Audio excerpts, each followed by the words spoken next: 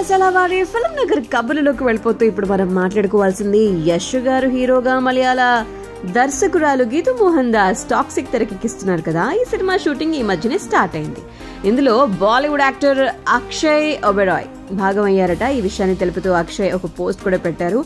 ఆయన టీంలోకి ఆహ్వానిస్తూ movie unit వారు కూడా లెటర్ షేర్ చేశారు. మీలాంటి ప్రతిభావంతులైనటువంటి నటులతో కలిసి వర్క్ చేసేందుకు టాక్సిక్ టీం ఇంట్రెస్టింగ్గా ఆసక్తిగా ఎదురు చూస్తుంది అక్షయ్ గారు. ప్రాజెక్ట్లోకి స్వాగతం అండి అంటూ యూనిట్ వారు చెప్పారనమాట సో ఈ అఫీషియల్ ప్రకటన తర్వాత ఇప్పటి వరకు ఇందులో నటిస్తున్నటువంటి నటీనటుల గురించి ఎంతవరకు అయితే ఏమీ వెల్లడి కాలేదు.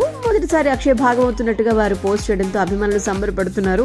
అండ్ ఈ సంవత్సరం ఫైటర్తో పలకరించినటువంటి అక్షయ్ గారు టాక్సిక్తో కన్నడ ఇండస్ట్రీలోకి ఎంట్రీ ఇవ్వబోతున్నారు. యశ్ గారు నటిస్తున్న nineteenth cinema fairy tale for grown ups అన్నది దీని ట్యాగ్ లైన్ అనమాట వచ్చే సంవత్సరం ఏప్రిల్ టెన్త్ మన ముందుకు రాబోతుంది. కేజీఎఫ్ సిరీస్ విజయాల తర్వాత యశ్ గారి నుంచి వస్తున్నటువంటి సినిమా కావడంతో ఎప్పటిలానే ప్రేక్షకుల్లో భారీ అంచనాలు ఉన్నాయి.